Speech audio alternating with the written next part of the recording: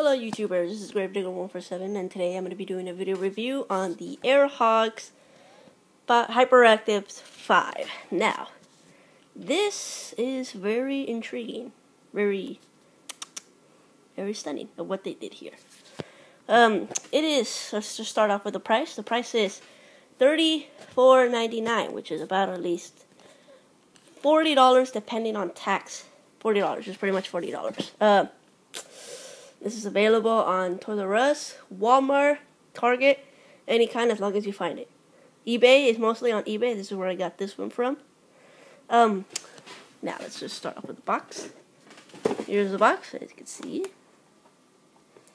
Five-wheeled stunt vehicle. Gonna go to the back of the box. As we can see here.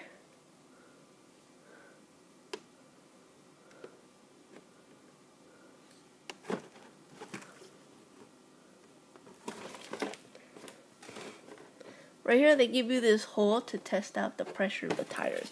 Because how the tires, the tires have this line through it that can, like, is the suspension. It has it on all, all the wheels, even the, even the front ones.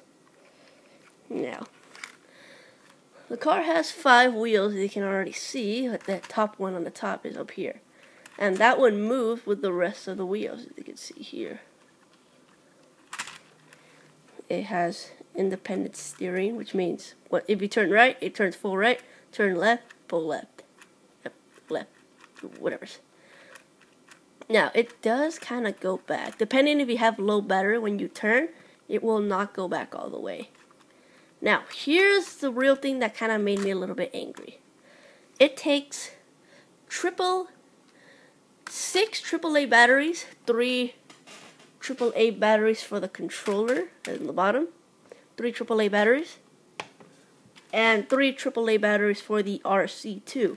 This is not a rechargeable RC car of the normal AirHogs, which I am very surprised because AirHogs is pretty much meant for its rechargeableness for the controller, but I guess they tried something different this time. Um, crap, I forgot what I was gonna say. Okay, uh, to the controller. The controller is dual proportionate, it means you can go slowly forwards, slowly, and all the way. Same thing for the back. You got steering. Not much steering, really. It has that squishy texture too, but not a lot. It also has this trim right here for if you want it to go forwards first or right back. But I can't really move it, so we're just going to leave that alone. Here's the on switch. That was very close. When you turn it on, it will start blinking until you turn on the RC from the back.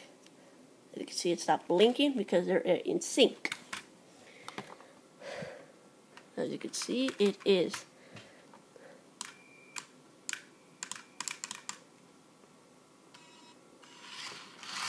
Whoa.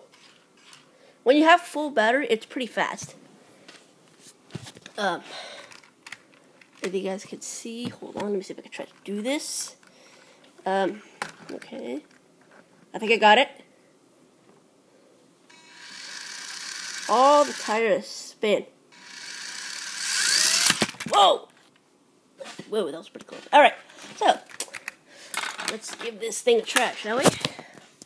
I have developed some ramps here so you guys can see, but I don't think they're gonna work. I don't I don't think it's just gonna work standing this thing up this thing up alone. Little stand right here. See if I can do it. Just do it. Da, da, da, um, crap. Oh, actually, is there another place here I can put it? Um, son of a gun. Um, okay, let me see if I can just try to steer the damn thing with my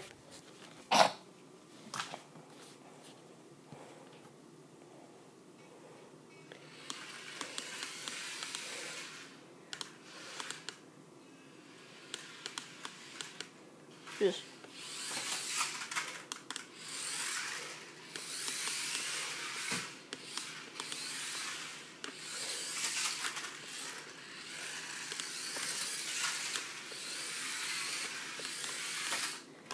thing is a pretty good peppy vehicle. It's pretty nice. It's great for small fingers, for small hands. I'm actually gonna just try to wedge it in between my legs.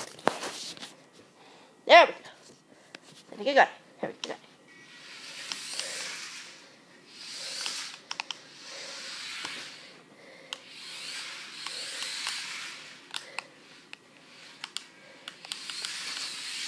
There we go.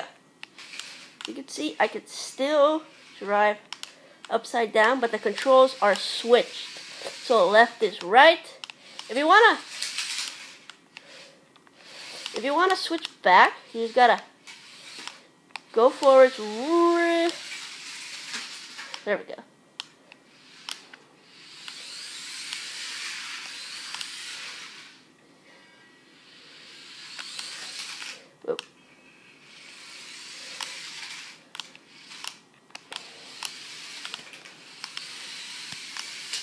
Oh. In a bit of jam.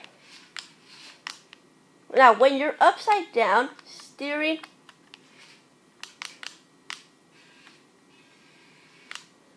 has changed. You cannot steer really rapidly like you would like you would in a car mode. Sometimes the steering doesn't work. Sometimes you have to ease up on the throttle. Because if I go straight,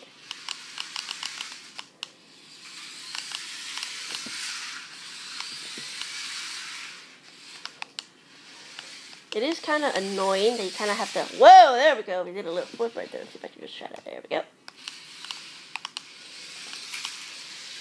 It does bug me a lot that the controls change. Oh, come on.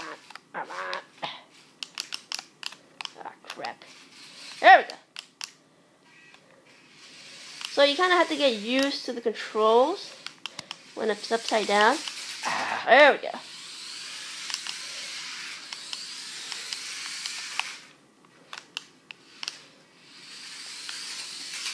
Now this is a pretty fun vehicle for kids.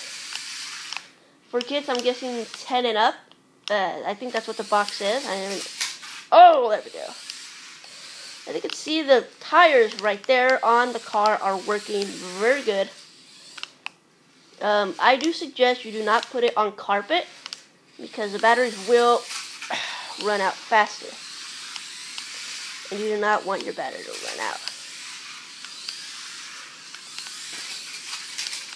Whoa!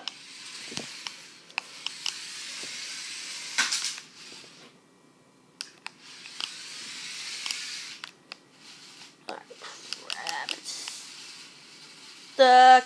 Come on. Oh, that's the AirHogs. I guess that's it. That's the AirHogs Hyperactives.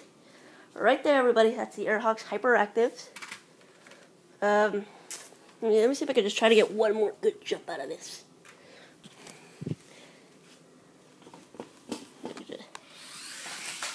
And there we go. Anyways, everybody, that that is the AirHogs Hyperactives. Um,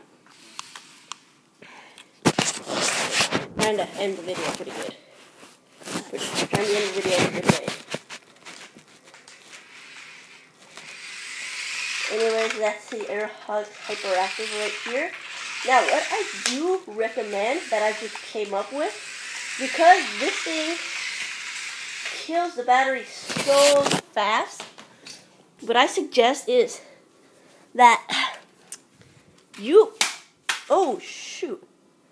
Holy crap, it just jumped pretty high. Did it break? Dang. It dropped it and it didn't break. I would test it and just jump it off of his, but I don't want to take the chance. So yeah, anyways, this is the AirHogs Hyperactive 5. Now what I suggest is that you guys get some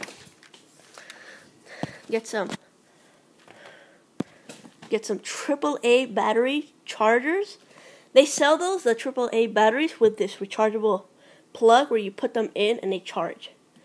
I say that's a better idea than just replacing it every time you run it. And uh, yeah, that'll be it. So yeah, um, thanks for watching everybody, and I'll see you guys later.